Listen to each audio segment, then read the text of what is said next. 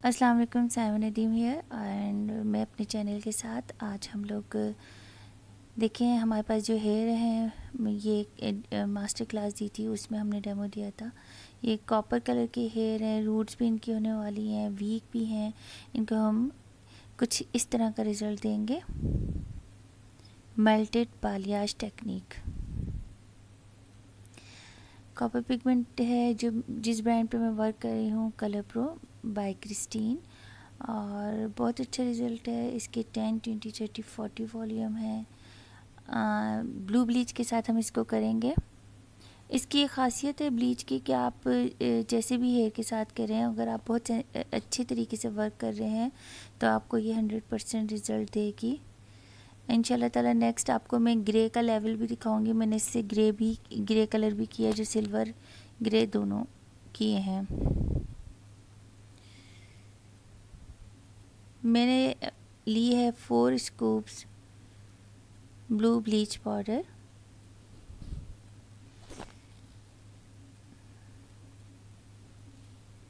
forty volume क्योंकि हमें जो टोन है, हमें लेवल जो हमने करना है, वो टेन से अबोव लेवल पे लेके जाना है। इसलिए मैं फोर्टी वॉल्यूम यूज़ कर रही हूँ।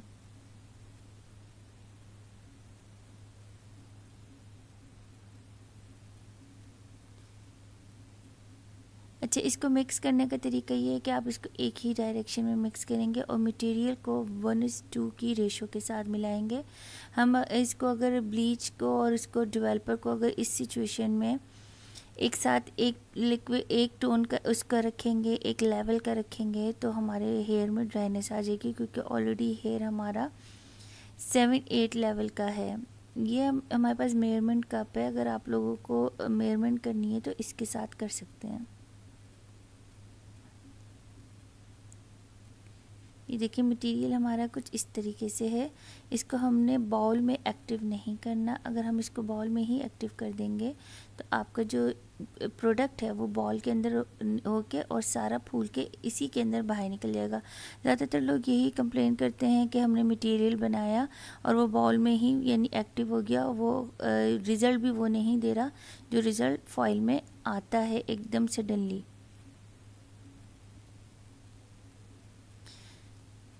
आप लोग देख रहे हैं, मुझे वैसे भी लेक्चर साथ साथ हेयर का लेक्चर देने का बहुत शौक़ है तो बस ज़्यादातर बस क्लाइंट मैं क्लास में बोलती ही रहती हूँ, मेरे स्टूडेंट्स को पता है। देखिए, हम जब पहला स्लाइस निकालेंगे मेल्टेड बालियाज के लिए तो हम थिन सेक्शन लेके इसको बैक ऑम कर देंगे और बारीक बारीक बारीक हमने इसमें से स्लाइस एक एक लेयर में लेनी है। और साथ में आई थिंक थोड़ा सा मिस हो गया वीडियो में आगे पीछे। ये दोबारा मैं लेके दिखा रही हूँ। थोड़ा सा वो हो गया है। उसके अंदर ये था कि आपने जो है ना क्योंकि फोर्टी वॉल्यूम यूज़ कर रहे हैं ट्रीटेड हेयर है सेवन टू एट के लेवल का हेयर है हमारे पास तो हमने इसमें बॉन्ड फ्यूजन ऐड किया है। मेरे पास जो बॉन्ड फ्यूजन है, है वो क्यूने का बॉन्ड फ्यूजन है और बॉन्ड फ्यूजन का जो फेस वन है वो आप अगर ब्लीच में एक्टिव ऐड कर दें तो अब ब्लीच से आपके हेयर डैमेज नहीं होते हैं।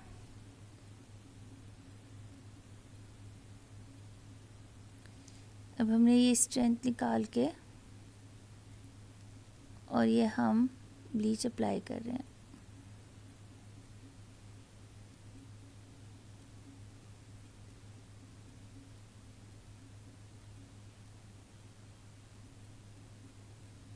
बहुत थिन थिन सेक्शन लेने हैं आपने, उसमें बारी, उतनी ही थिन, उतनी ही बारीक आपने स्लाइस के अंदर स्ट्रीक्स के फॉइल्स उठाने हैं।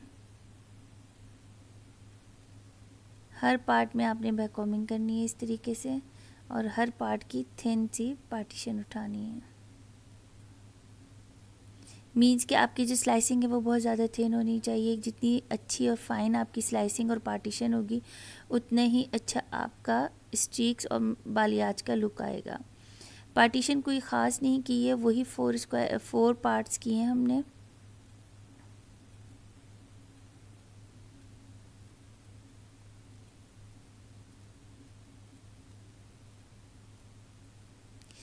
साथ साथ हमारी स्टिक्स भी जा रही हैं साथ साथ हम लेक्चर भी दे रहे हैं। ये मैं इन लोगों को हेयर के लेवल के बारे में बता रही थी कि हम इतने लेवल पे इतना वर्क करेंगे। जैसे कि आपको फ़र्ज़ करें कि आपको आजकल जो एश टोन चल रही है, अगर उस उस लेवल पे जाना है तो आपने कट डाउन का लेवल भी उतने ही लेवल का करना है।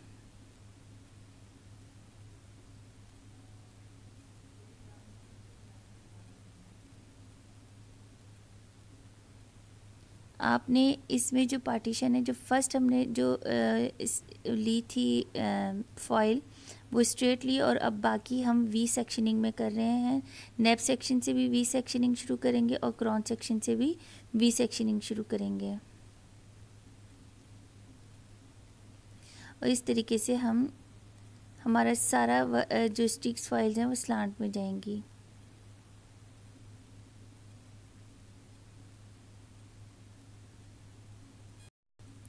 अब जब ज़्यादातर लोगों को ये होता है कि ब्लीच लगा रहे हैं, ब्लीच करेंगे, हमारे बाल डैमेज होंगे तो देखें बॉन्ड फ्यूजन एक ऐसी चीज़ है जो आपके ड्यूरिंग प्रोसेस जब आपका ब्लीच लग रहा होता है तो आपके बॉन्ड को डिस्टर्ब नहीं करती। जैसे कि लोगों को प्रॉब्लम होती है कि आप ब्लीच किया तो आपकी इलास्टिसिटी आ गई, ड्राइनेस आ गई तो ऐसी सिचुएशन में हम अपने क्लाइंट को बॉन्ड बॉन्ड फ्यूजन का फेस वन जो है वो हम ऐड करते हैं ब्लीच के अंदर और फिर हम इसको ब्लीच करते हैं तो माशाल्लाह से बाल बिल्कुल नहीं ख़राब होता और माशाल्लाह माशाल्लाह हमारी डाई स्ट्रीक्स कलरिंग का रिबॉन्डिंग एक्सटेंसो और मेकअप हमारा माशाल्लाह सबको ही पता है कि कितना अच्छा है और डाई का काम अल्हम्दुलिल्लाह अल्हम्दुलिल्लाह बहुत हमारा अच्छा है।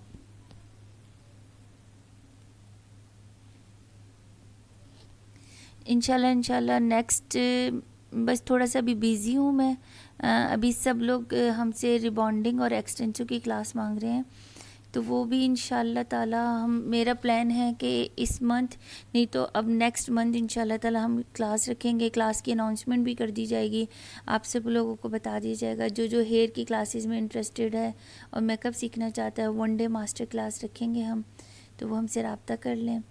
ये हमारी जो मास्टर क्लास है, ये हमारी स्टार्ट ऑफ़ अक्टूबर में हुई थी और ये माशाल्लाह बहुत अच्छी रही थी। अब इन्हीं, अब काफ़ी लोग हमसे डिमांड कर रहे हैं कि मज़ीद क्लास की इन ताला नेक्स्ट मंथ या इस मंथ के लास्ट में हम क्लास देंगे। इसी तरीके से आपने वर्टिकल उसमें आपने वी के वी बनाना है का आपने और उसके साथ साथ आपने ये सारी स्लाइस कर लेनी है। और जैसे जैसे आपके फॉइल्स जो है ना उसका लेवल होता जाएगा आपने बैक से फॉइल्स रिमूव करते जाना है।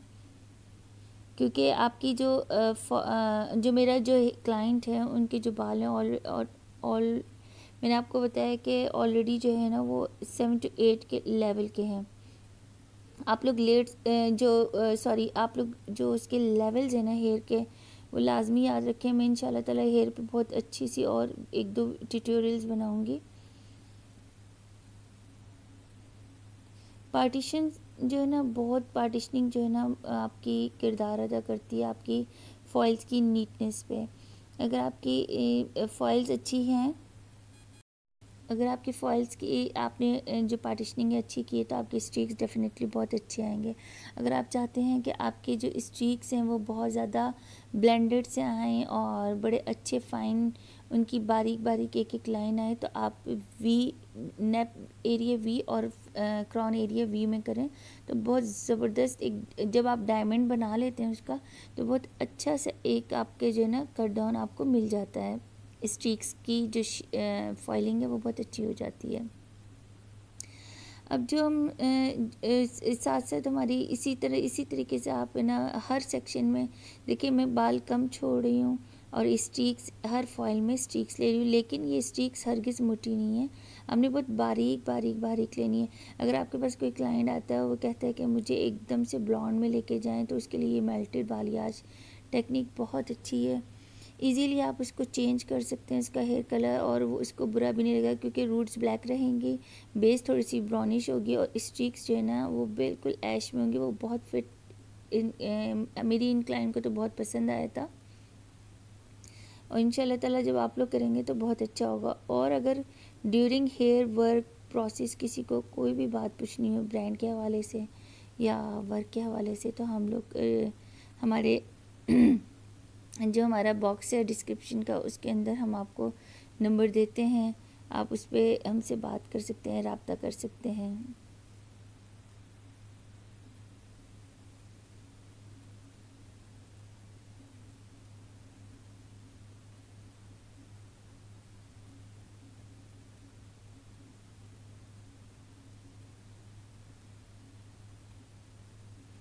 आप लोगों ने जब भी ज, ये भी एक आपको टिप बताती चलूँगी जब आप लोग कट डाउन अप्लाई करते हैं या आप डायरेक्ट लिफ्टिंग कलर अप्लाई कर रहे हैं तो हमेशा इस बात का ख्याल रखिएगा कि आपने जो है ना प्रोडक्ट को कलर लगा रहे हैं कुछ भी कर रहे हैं तो आपने प्रोडक्ट को हेयर के अंदर बिल्कुल एक साथ अच्छे से मस्ट कर लेना है।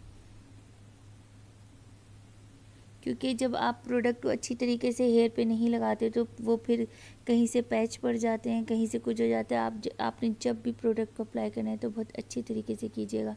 देखिए वीडियो बहुत बारीकी से बना जिन्होंने बनाई है कि वो हर बार मेरी जो है ना स्लाइस निकालते हुए चेक कराती हैं कि किस तरीके से स्लाइस ली जा रही है। बारीक बारीक सेक्शनिंग्स में।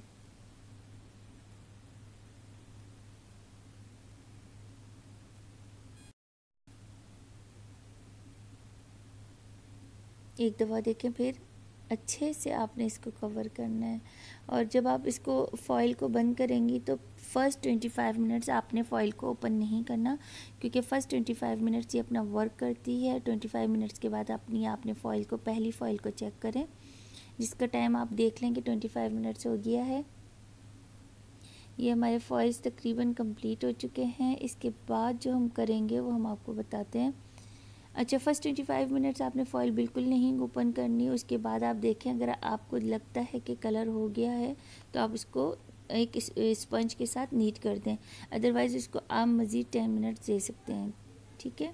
हार्डली जो कम से कम मिनट इसका पच्चीस मिनट और ज़्यादा से ज़्यादा आपका पैंतीस मिनट है। इससे पहले अगर आपको टेन मिनट्स में रिज़ल्ट मिल रहा है फॉर समटाइम्स आप, ऐसा होता है कि आपने ब्लीच वॉश कर दी है ब्लीच के बाद क्या होता है? कि वो क्लाइंट के ना रिवर्स हो जाता है। आप कहते हो कितना अच्छा फॉइल में ऐश कलर की स्ट्रीक्स आ रही थी कट डाउन इतना अच्छा हो गया। लेकिन हमने जब दोबारा किया तो वो फिर है ना, उसका रिवर्स हो गया। तो इस तरह के प्रॉब्लम्स आते हैं।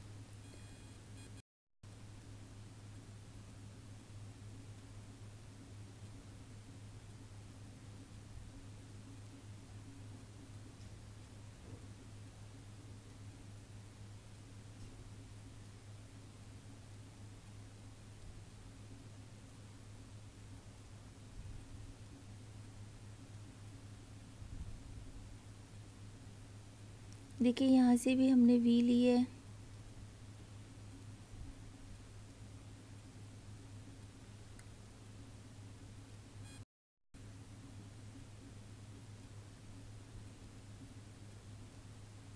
इस तरीके से आपने वी बना के आपने फ्रंट सेक्शन पे भी फाइलिंग कर देनी है।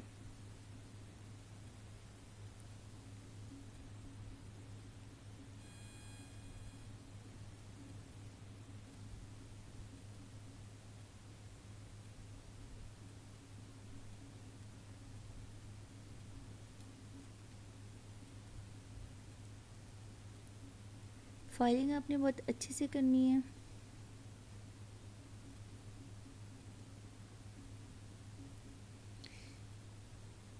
अब आपने क्या करना है कि जो बाल बाकी रह गए फॉइल से निकल के।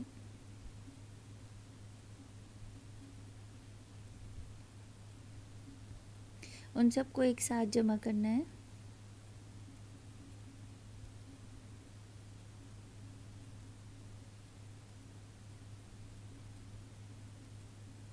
बैक के बाल बैक पे।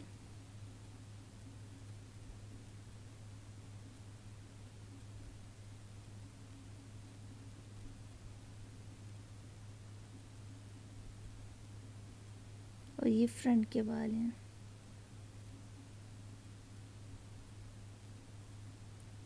देखिए, इन फ्रंट के बालों को भी आपने पकड़ के एक बैक के सेक्शन पे ला के आपने इसमें फॉइल अप्लाई करनी है। इस तरीके से।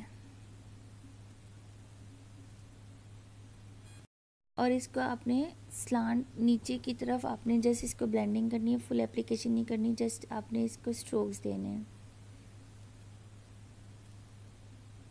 बैक के हेयर्स को भी और फ्रंट के हेयर्स को भी।